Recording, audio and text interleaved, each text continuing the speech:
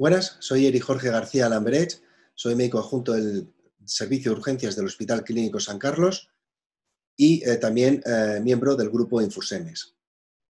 Hoy, en estas píldoras acerca de la pandemia del COVID-19, vamos a hablar de las medidas de protección ante un caso eh, sospechoso. En esta píldora vamos a tratar las medidas de protección personal ante un caso, en qué consiste el equipo de protección individual, los cinco momentos para la higiene de manos y las recomendaciones generales para todos los trabajadores sanitarios. Bueno, ya sabemos que eh, los pacientes van a acudir al servicio de urgencias y el primer punto donde van a acceder va a ser el servicio de admisión. Me sería recomendable que en este caso, eh, desde el propio servicio de admisión, si se detectara algún paciente con sintomatología respiratoria o contacto epidemiológico, se eh, suministrara una mascarilla tipo quirúrgica y se llevará al circuito de aislamiento y por lo tanto, además, el personal que la acompaña debería ir con mascarilla también tipo quirúrgica como mínimo. Sin embargo, como sabemos, muchas veces los pacientes van a ser valorados en el triaje y en el servicio de admisión eh, pueden digamos, no ser el, punto, eh, digamos, con mayor facilidad para poder indagar, digamos, em, sobre aspectos eh, clínicos como es la sintomatología respiratoria. Por lo tanto, en el triaje se dará a valorar si el paciente presenta sintomatología respiratoria o algún contacto epidemiológico que sugiera infección por COVID-19 y en tal caso, em, bueno, pues eh, ese paciente será remitido a través del triaje por el, digamos, hacia el circuito de aislamiento del servicio de urgencias. Por otro lado, si no hay datos que sugieran una infección respiratoria, fiebre eh, o contacto epidemiológico, ese paciente será remitido desde el triaje hacia el circuito convencional. Por otro lado, aquellos pacientes que sí que presentan un cuadro respiratorio agudo que pueda ser sugerente de infección eh, por COVID, eh, pero que no presente criterios de ingreso hospitalario, se considerará como caso posible y se recomendará el aislamiento domiciliario. Por otro lado, los pacientes que acudan por un cuadro de infección respiratoria aguda que sugiera una infección por COVID y, por otro lado, sí que presente criterios de ingreso hospitalario, se considerarán como casos probables y, por lo tanto, se procederá a la hospitalización. Em, evidentemente, esto muchas veces no se realizará en el propio triaje, sino que requerirá de una valoración por facultativo en alguna de las salas de urgencias. Pero el triaje sí que deberá identificar, aislar e informar en cualquier caso.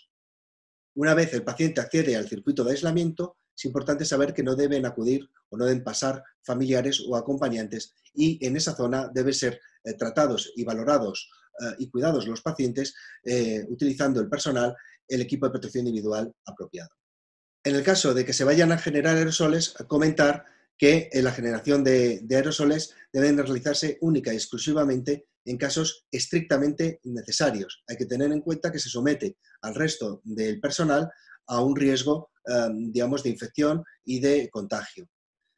Debe ser recomendable, por lo tanto, solo en habitaciones que tengan una presión negativa y reducir el número de personas que estén en la habitación al mínimo posible. Este personal, además, debe de contar con una mascarilla de alta eficacia tipo FPPP3, protección ocular de montura integral o bien protección facial, quizá más recomendable, guantes y batas impermeables. Además, el personal de limpieza debe también llevar el equipo de protección individual apropiado. La desinfección debe realizarse eh, con el uso de lejía, sobre todo a superficies, inmobiliario no metálico y el exterior de los contenedores eh, de residuos. Sin embargo, el mobiliario metálico deberá realizarse su desinfección mediante toallitas desinfectantes. Esto es porque la lejía puede eh, producir corrosión en el mobiliario metálico. Los residuos deberán considerarse como residuos de clase 3 y todo material que sea potencialmente desechable debe ser desechado. Las sábanas y las toallas no deberán tocarse y, en cualquier caso, eh, deberán meterse en un recipiente herméticamente cerrado y rotulado. Tampoco deberá acercarse este tipo de, sábanas y toallas a nuestro eh, traje o nuestro equipo de protección individual eh, y simplemente ser llevado con la mano, con guantes y tirado en un recipiente herméticamente cerrado. Siguiente diapositiva. En lo relacionado con el equipo de protección individual, comentar que siempre debe ser colocado antes de entrar en la habitación y una vez utilizado hay que eliminarlo dentro de la habitación, a excepción de la protección respiratoria, la mascarilla. Siempre habrá que realizar higiene de manos antes de colocarse el EPI, pero también tras la retirada del EPI. Y los EPI son desechables y serán tratados como residuos infecciosos. ¿En qué consisten, eh, digamos, las partes o, sí, las partes del, EPI? Por un lado, vamos a tener la bata, que deberá ser una bata resistente a líquidos y deberá ser eh, colocada antes de entrar en la habitación. Es recomendable que sea, por lo tanto, impermeable, especialmente si se va a tener contacto con eh, situaciones en las que se van a generar fluidos o secreciones. La bata, por lo tanto, debe retirarse dentro de la habitación y eliminarla en un contenedor de residuos de clase 3 con tapa de apertura con pedal. La protección respiratoria sería otro punto a tener en cuenta, que sería el, digamos, probablemente el segundo eslabón a la hora de, colocarse el EPI. Para ello, eh, debe utilizarse em, esta protección respiratoria eh, cuando se vaya a, eh, antes de entrar en la habitación y cuando se vaya a valorar al paciente.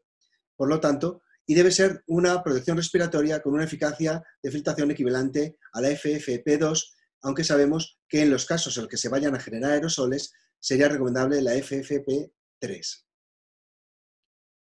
Siempre deberá comprobarse que esté bien ajustado y que no sale aire por las zonas laterales. La protección respiratoria se debe colocar antes de entrar a la habitación y se debe retirar fuera de la habitación y ser desechado en un contenedor de residuos con tapa de apertura con pedal. Debe también realizarse una adecuada higiene de manos, recomendable antes de colocárselo y después de retirárselo. La protección ocular también es recomendable si se va a entrar a la habitación y debe ser una protección ocular especialmente, mm, digamos, eh, de montura integral o bien eh, de facial, en la que eh, pueda, digamos, protegernos de las salpicaduras. La protección ocular debe quitarse antes de abandonar la habitación y el protector ocular debe ser procesado y eliminado en los casos desechables, pero si su ficha técnica lo permite, podrá ser esterilizado y reutilizado posteriormente, siempre siguiendo las recomendaciones de la ficha técnica. Por otro lado, los guantes son un elemento fundamental junto a la protección respiratoria y el resto de partes, digamos, del EPI, eh, para la protección del personal. Siempre habrá que realizar una higiene de manos previa a colocarse los guantes, que deben ser guantes limpios, no hace falta que sean estériles, salvo que se vaya a realizar una técnica estéril, pero eh, en principio eh, habrá que realizarlo siempre con guantes limpios. Los, guantes deben ser cambiados en casos de si se rompen o en caso de que estén visiblemente sucios o altamente contaminados. Además, se debe echar los guantes antes de abandonar la habitación en un contenedor de residuos con tapa y pedal y realizar inmediatamente después una adecuada higiene de manos. A continuación vamos a hablar de los cinco momentos para la higiene de manos. Esto es muy importante y es muy importante porque no solo es necesario ahora que estamos concienciados en esta pandemia por COVID, sino que es recomendable realizarlo en todos los pacientes que vayamos a valorar, ya sean pacientes que presenten algún tipo de enfermedad contagiosa, como si no. Los cinco momentos del higiene de manos va a ser siempre antes de tocar al paciente, siempre antes de realizar cualquier tipo de tarea que suponga una asepsia, o sea, una tarea considerada como limpia. También debe realizarse siempre después de haber tenido contacto con algún tipo de líquido corporal o residuo y después de tocar al paciente. Asimismo, deberá realizarse higiene de manos después del contacto con cualquier, con cualquier lugar del entorno del paciente. Y como recomendaciones generales para trabajadores sanitarios, comentar que es fundamental las medidas de higiene de manos, insisto que es, igual de fundamental tanto para pacientes que podamos sospechar algún tipo de contagio como para aquellos pacientes en los que no. Deberá ser recomendable el uso de mascarilla durante el contacto con los pacientes, ya sabemos que en situaciones en las que existe sospecha eh, de infección por coronavirus debemos utilizar un equipo de protección individual, que serán mascarillas eh, no tipo quirúrgicas, sino mascarillas tipo FFP2 o FFP3, en el caso del uso de aerosoles. Y en aquellos pacientes que presenten o bien clínica respiratoria, fiebre o contacto epidemiológico, deberán también portar una mascarilla de tipo quirúrgica convenientemente colocada. Por otro lado, los profesionales sanitarios con fiebre o con clínica respiratoria aguda no deberán acudir a su puesto de trabajo por el riesgo que tiene de transmisión a los pacientes y a los eh, demás profesionales. Bueno, muchas gracias eh, por atender en esta píldora y eh, espero que hayan tenido una, adecuada información sobre la colocación de los EPIs y las medidas de protección que tenemos de tener el personal sanitario. Muchas gracias.